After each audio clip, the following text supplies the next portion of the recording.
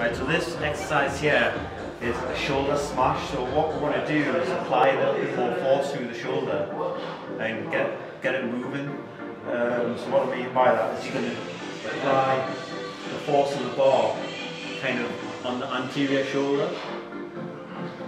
Put a little bit of force on, go through rotation,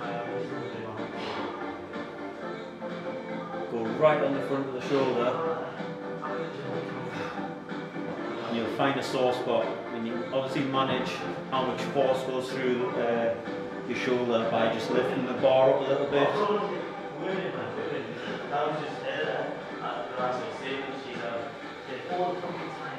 But just keep going through internal external rotation